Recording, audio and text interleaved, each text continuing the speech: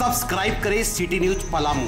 व bell icon दबाकर पाए परमंडल की ताज़ा खबरें सबसे पहले, सबसे आगे।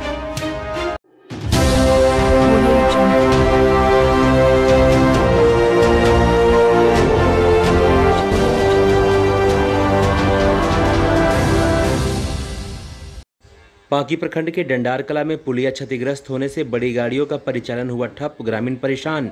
पाकी प्रखंड के सुरजवन चौक से डंडार पंचायत सचिवालय की ओर जाने वाली मुख्य सड़क की पुलिया शनिवार की सुबह भारी वाहन के गुजरने से क्षतिग्रस्त हो गई है।